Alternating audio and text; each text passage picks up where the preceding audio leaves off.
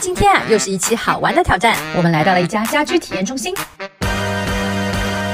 今天的机灵姐呢，要担任一名小小软装设计师的角色，亲自从软装饰品陈列区中选择觉得合适的物品来布置样板间。你想好要布置哪一间了吗？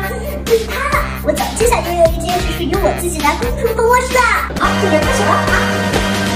有想法了，要这个、这个还有这个，请妈妈帮忙一起搬到车上。第一次挑战室内设计，可以自己布置房间，这个好可爱。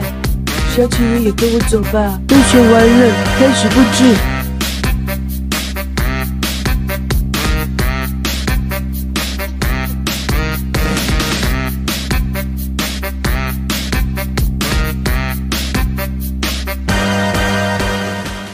我已经弄好了，快进来吧。